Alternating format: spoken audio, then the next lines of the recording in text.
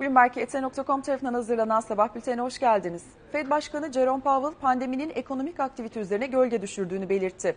Eğitimcilerin katıldığı bir panelde konuşan Powell, para politikasına dair mesaj vermezken Fed'in güçlü araçları olduğunu, yapabileceklerinin ise sınırlı olduğunu belirtti. Merkez bankacılarının buluşacağı ve varlık alımları ile ilgili Fed mesajının verilmesinin beklendiği Jackson Hole toplantısı ise 26-28 Ağustos'ta gerçekleşecek. Zayıf gelen Temmuz ABD perakende satışlar verisi sonrası sert düşüş yaşayan S&P 500'de vadeliler bu sabah yataya yakın hafif toparlanma emaresi gösteriyor. Son günlerde delta varyantı karşısında kayıplar yaşayan Asya Pasifik endekslerinde ise bu sabah toparlanma çabası var.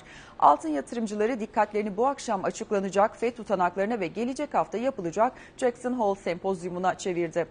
Dünya genelinde koronavirüs gelişmelerinde ise aşı şartı gündeme öne çıkıyor. Morgan Stanley çalışanlarından aşı yaptırdıklarına dair belge isteyecek. Apple ise çalışanlarının test yaptırma frekansını artıracak. Türkiye'de çarşamba akşamı yayınlanan verilere göre 21.692 vaka sayısına ulaşıldı. 183 kişi hayatını kaybetti.